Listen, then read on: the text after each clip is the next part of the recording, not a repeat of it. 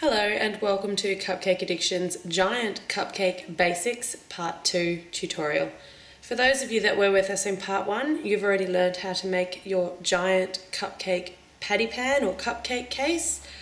Now we're moving on to Lesson 2, which we will learn how to fill, how to bake, and also how to extract our giant cupcake from the giant cupcake case.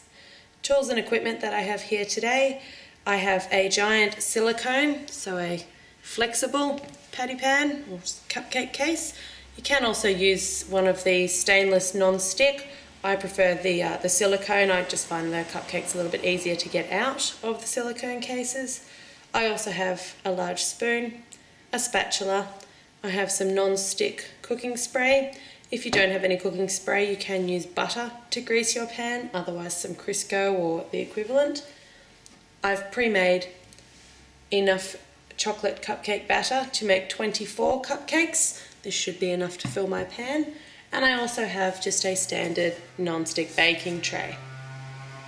Alright, let's get started.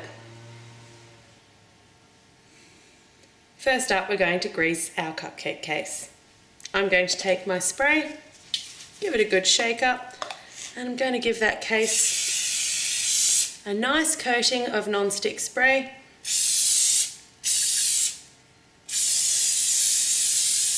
Being sure to get right around the edges.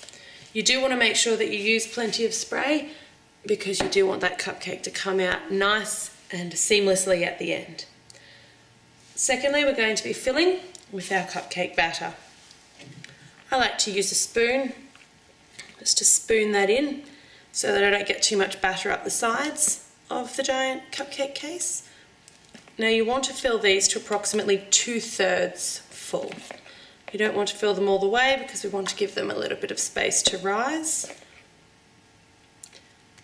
So that's about two thirds full. If it's a little higher, a little lower, it's not a problem because we will be doing some carving in our next tutorial to get that cup, giant cupcake absolutely perfect.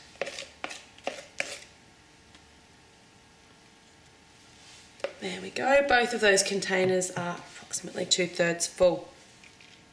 I'm going to place the silicone, the silicone cupcake cases onto this baking tray. If you've got one of the non-stick stainless, you don't necessarily need the baking tray, but I find this just stops me from actually moving the, uh, the outsides of the cupcake case when I go to check them in the oven. When I put them in the oven, it just helps them to have a flat surface to hold their shape.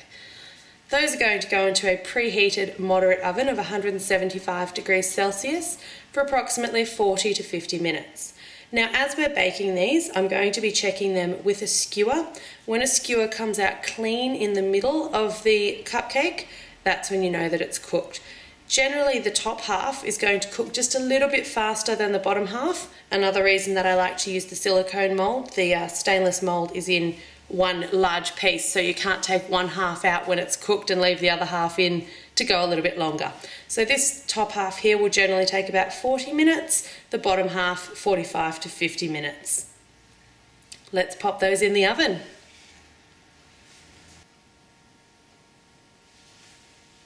Alright, here we have our freshly baked giant cupcake. Came out of the oven approximately 30 minutes ago. I have left that to sit in the silicone pan. I like to let it sit for at least 30 minutes after it's been baked. Just helps to solidify those edges and firm them up. If you do try to take it out of the patty pan while it is still very hot and very fresh, apart from being very hot, it has a tendency to break up um, as you pull it out of the out of the pan. Now to get started on extracting the cupcake, which is always the nerve-wracking part, I'm going to start just by loosening the silicone around the edges of the cupcake, just pulling it away. This is another one of the benefits of using the silicone rather than the metal. Obviously the metal is not as flexible. Alright, I'm going to do that with both halves. Just pull it away at the edges to give it a good start. I'll start with the base. To get the base out, I'm just going to roll these edges down, similar to what we did with our giant patty pan. Now I will mention, if you do have some little bits that are sticking, don't worry too much. You'll see here there's a few little bits. Don't worry too much about that. We are going to do some carving of this cupcake, So it will look a little bit neater once we've got it all carved up. There's the base, you can see that's held its shape quite neatly. And now for the top, the same principle applies. We're just going to roll those edges down nice and slowly, there's no hurry. The top will tend to stick just a little bit more, you can see there to the inside, but that's not a problem. I'm going to flip that upside down and just continue to just peel that away. There we go. Okay. Now as you can see here, as I mentioned, we've got a few little gaps, absolutely nothing to worry about. I should also mention in the cooking process, you'll notice that our tops are quite well done. Very common with a giant cupcake and nothing to worry about as we will be carving away any crispy edges in our next tutorial. I'm going to let those cool completely now. They'll take two to three hours to cool all the way through.